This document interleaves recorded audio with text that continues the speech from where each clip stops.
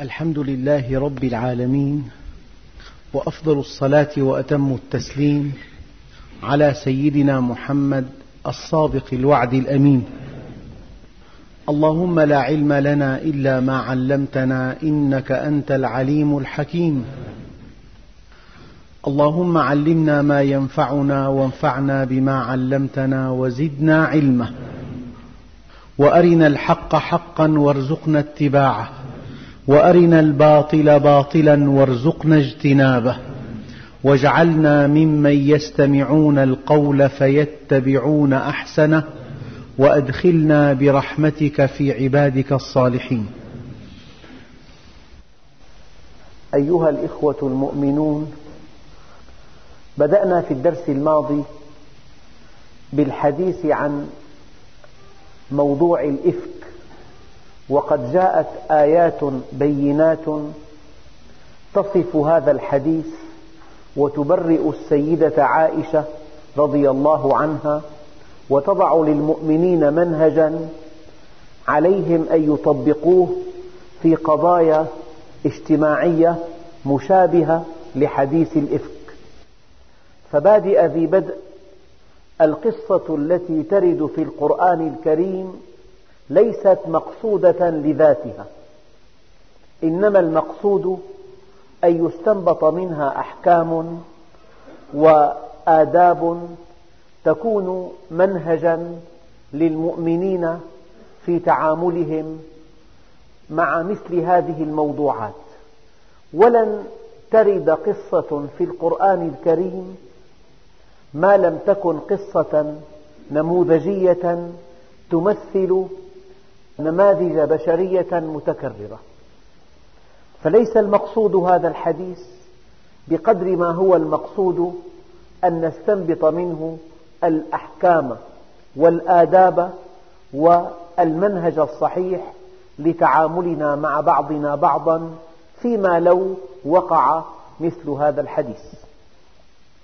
يقول الله سبحانه وتعالى إن الذين جاءوا بالإفك عصبة منكم لا تحسبوه شرا لكم بل هو خير لكم لكل امرئ منهم ما اكتسب من الإثم والذي تولى كبره منهم له عذاب عظيم.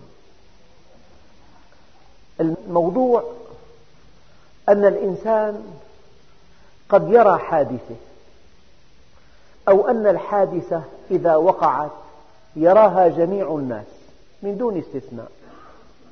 ولكنهم يتفاوتون في تفسيرها. قد ترى أبا يضرب ابنه. الضرب وقع والصورة ارتسمت على شبكية العين. ولكن الناس متفاوتون في تفسير هذا الضرب.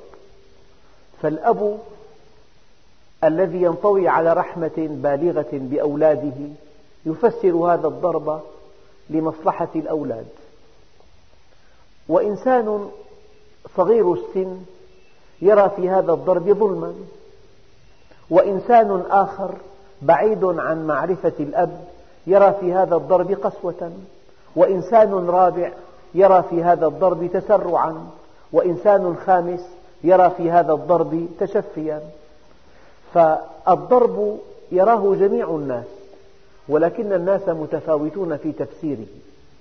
فالبطولة في التفسير الوقائع جميعا نتساوى في الاطلاع عليها وقائع الأحداث. جميعا نحن نتساوى جميعا في الاطلاع عليها ولكن الإنسان كلما ارتقى فهمه وكلما اقترب من ربه يملك قدرة على تفسير الوقائع. فربنا عز وجل قال لا تحسبوه شرا لكم بل هو خير.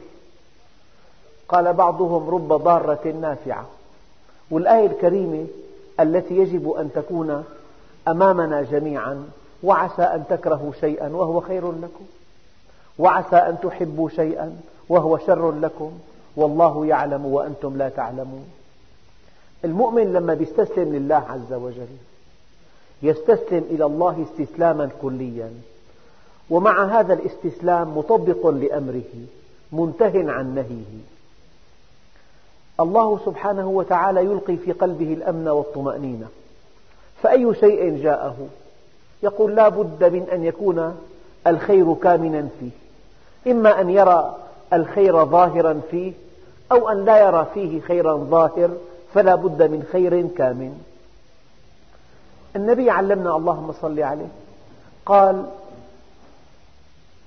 عجبت لأمر المؤمن إن أمره كله خير. إن أصابته سراء شكر فكان ذلك له خير وإن أصابته ضراء صبر فكان ذلك له خير وليس ذلك لغير المؤمن. يعني تطبيقا لهذه المقدمة. أحدنا في حياته في زواجه في عمله في دخله في صحته. هناك عوارض هناك أشياء مزعجة أشياء مسرة أشياء مقبولة أشياء غير مقبولة. أشياء تدفع إلى الألم والحزن أشياء تدفع إلى الضيق. هذه الأشياء المحزنة أو المفرحة التي تدفع إلى الضيق أو إلى السرور. التوفيق في الزواج أو عدم التوفيق. نشأت مشكلة أو لم تنشأ فاحت قضية فاحت سمعة سيئة أنت منها بريء والله يعلم أنك بريء. مثل هذه القضايا التي تتكرر والتي تحدث في المجتمعات بل في مجتمعات أهل الإيمان ينبغي أن تفسر في ضوء هذا الحديث في ضوء حديث الإفك. لا تحسبوه شرا لكم بل هو خير. يعني كل شيء قبل أن يقع افعل ما تشاء. تلافى وقوعه. الله أعطاك عقل. لذلك القضاء والقدر نوعين. لما سيدنا عمر رضي الله عنه كان في طريقه إلى الشام علم أن بالشام وباء مرضا وبيلا. فبعض أصحابه اقترح عليه أن يدخل الشام ولا يبالي بقضاء الله وقدره. يعني لا مفر من قضاء الله. وبعض أصحابه الآخرين اقترح عليه ألا يدخل الشام أخذا بالأسباب. سيدنا عمر بعد إذن امتنع عن دخول الشام. فقال بعضهم يا أمير المؤمنين أتفر من قضاء الله؟ فقال نعم. أفر من قضاء الله إلى قضاء الله. ثم قال قولته الشهيرة يخاطب هذا المعترض لو أن هناك واديين من من المرعى واد معشب وواد مجدب فأنت إذا رعيت غنمك في الوادي المعشب رعيتها بقضاء الله وقدره. وإن رعيتها في الوادي المجدب رعيتها بقضاء الله وقدره. فأنت ماذا تفعل؟ تفر من قضاء الله إلى قضاء الله. فالإنسان قبل أن تقع الأمور يعني في شبح مرض من باب أولى الإنسان يتداوى يأخذ الأسباب في قضية في طريقها إليك تلافاها أنت. فقبل أن تقع الأشياء يجب أن تحكم العقل ويجب أن تحكم الأسباب ويجب أن تأخذ بالأسباب. لكن بعد أن تقع الأمور يجب أن تعتقد أن هذا الذي وقع هو بقضاء الله وقدره وأن قضاء الله وقدره خير كله للعباد. لأن النبي عليه الصلاة والسلام يقول الإيمان بالقدر يذهب الهم والحزن. فاليوم في شيء بالدرس جديد يعني الأشياء قبل أن تقع عليك أن تتلافاها الأشياء المؤلمة المزعجة. لو فرضنا إنسان يعني ماشي مع امرأة في الطريق وهو أعزب فرآه صديق له يقول هذه أختي يا أخي هذه أختي. هذه مثلا النبي الكريم قال هذه زوجتي. فالإنسان عليه أن يدفع عن نفسه كلام الآخرين. رحم الله عبدا جب المغيبة عن نفسه. يعني أنت مسافر ووكلت يعني قريب لزوجتك وقد يكون أخاها أن يتفقد أمور البيت فإذا أعلمت الجيران أن أنا وكلت أخو زوجتي أن يؤمن لهم الحوائج هذا كلام ضروري جدا لأنه أنت نفيت عن نفسك ما قد يتبادر إلى أذهانهم من أن هذا العمل غير صحيح. فقبل أن تقع الأشياء يجب أن تأخذ بالأسباب يجب ألا تفعل شيئا له تفسيران يجب أن توضح للناس كل شيء. البيان يطرد الشيطان في تعاملك المالي في تعاملك مع النساء في تعاملك الدقيق. يجب أن توضح. التوضيح يطرد الشيطان. البيان يطرد الشيطان. ولكن إذا أخذت بكل الأسباب ووقعت مشكلة الآن ليكن هذا الحديث حديث الإفك أسوة لك في حياتك. هذا قضاء الله وقدره. فلا مفر من قضاء الله وقدره إلا بالتوضيح. والله سبحانه وتعالى يتولى الدفاع عن المؤمنين لقول الله عز وجل إن الله يدافع عن الذين آمنوا. إذا هذا يفيدنا أن كل مشكلة تقع في محيط الأسرة قبل أن تقع عليك أن تتلافى وقوعها. انطلاقا من أن النبي عليه الصلاة والسلام قال يا رسول الله ناقتي تركتها. أأعقلها أم أتوكل? فقال أعقلها وتوكل. انطلاقا من هذا التوجيه النبوي عليك أن تعقل ثم تتوكل. عليك أن تأخذ بكل الأسباب ثم تتوكل على رب الأرباب. هذا قبل أن تقع المشكلة. لكن إذا أخذت بكل الأسباب ثم وقعت هذا قضاء الله وقدره. لذلك ربنا سبحانه وتعالى عندئذ يتولى الدفاع عنك ويتولى تبرئة البريء وإدانة المتهم. لا تحسبوه شرا لكم بل هو خير لكم لكل امرئ منهم ما اكتسب من الإثم والذي تولى كبره منهم له عذاب عظيم. يا ربنا عز وجل يعامل الناس بميزان دقيق جدا. حديث الأفك إنسان تولى ترويجه في المدينة. والذي تولى كبره منكم يعني أن يشاع هذا الحديث أن ينتقل من بيت إلى بيت أن يتفاقم الأمر. هذا الذي يفعل هذا له عذاب عظيم. إنسان آخر سمع وصدق هذا له عقاب معين. هذا سمع ولم يصدق هذا سمع وكذب هذا سمع وأحسن الظن بزوجة النبي عليه الصلاة والسلام فكل موقف له حساب. الأطباء يقولون ليس هناك مرض بل هناك مريض. والحقيقة إذا في بالأرض خمسة آلاف مليون إنسان كل إنسان يقف موقف يوزن بميزان دقيق دقيق ويحاسب عليه. أما الذي تولى كبره منهم له عذاب عظيم.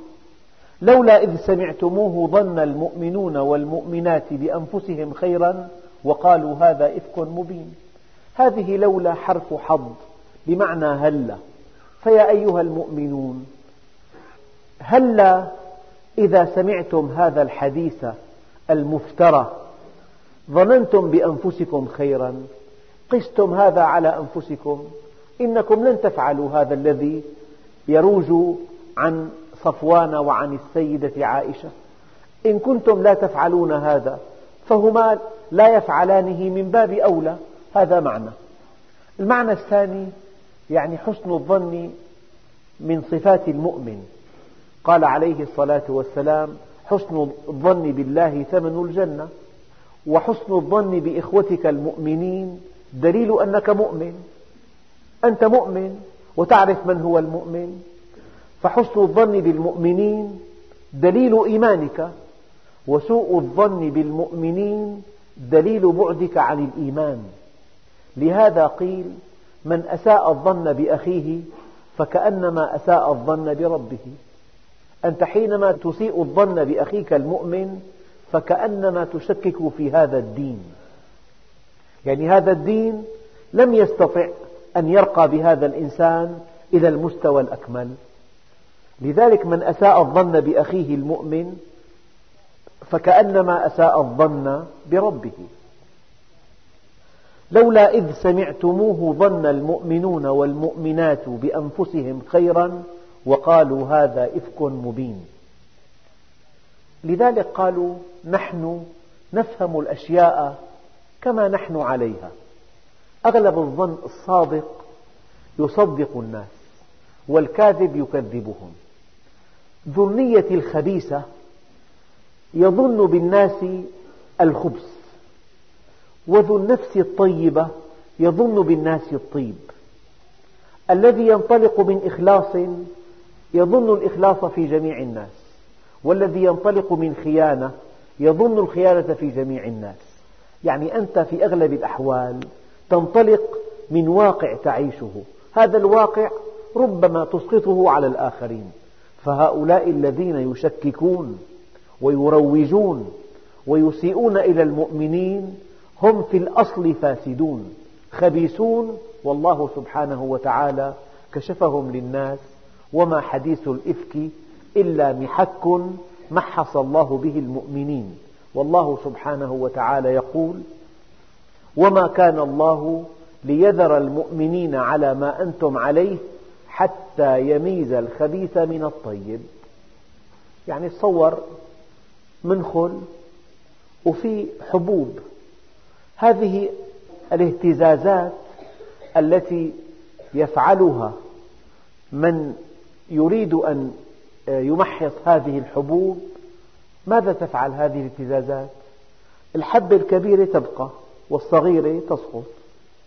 وكذلك ربنا عز وجل بعض الأحداث القاسية أحيانا بعض الهزات بعض المشكلات إنها تفرز المؤمنين إلى مؤمنين صادقين وإلى مؤمنين ضعاف وإلى منافقين وإلى كافرين.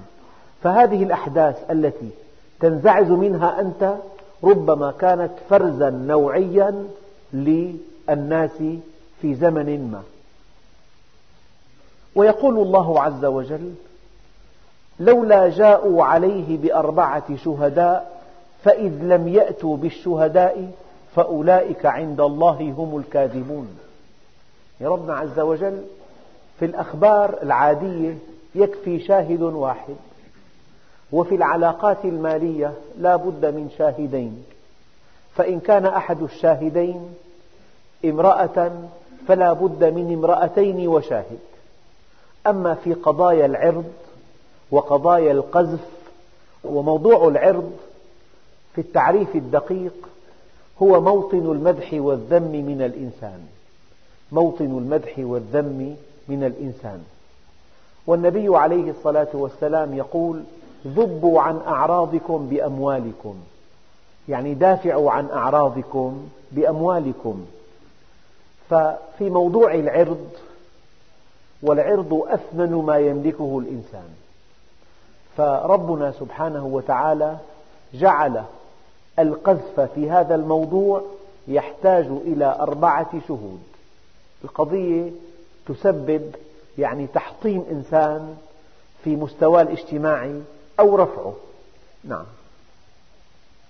فإذ لم يأتوا بالشهداء فأولئك عند الله هم الكاذبون. ولولا فضل الله عليكم ورحمته في الدنيا والآخرة لمستكم فيما أفضتم فيه عذاب عظيم. ربنا عز وجل رحيم. من رحمته أنه فتح باب التوبة. من رحمته أنه جعل لمن تجاوز الحدود حدا يقام عليه. وهذا الحد الذي يقام عليه هو كفارة له. كفارة الزنا الرجم للمحصن والجلد لغير المحصن. فإذا وقع الإنسان في الزنا ورجم أو جلد وتاب من ذنبه توفاه الله عز وجل وليس عليه شيء. فربنا سبحانه وتعالى جعل إقامة الحد لهذا الإنسان كفارة له. وربنا عز وجل يقول ولولا فضل الله عليكم ورحمته ومن علامات الإيمان أن ترى فضل الله عليك دائما. فضل الله عليك إذ أوجدك ولم تكن شيئا مذكورا. هذه نعمة الإيجاد. وفضل الله عليك إذ أمدك بما تحتاج من طعام وشراب وعطف وحنان. جعل لك أما وأبا يعطفان عليك وخلق لك هذا الهواء وهذا الماء وهذا الطعام والشراب وهذه نعمة الإمداد. وفضل الله عليك ثالثة بنعمة الإرشاد فنقلك من الظلمات إلى النور وهداك إلى الطريق المستقيم وشرح الله لك صدرك للإسلام. والحمد لله رب العالمين.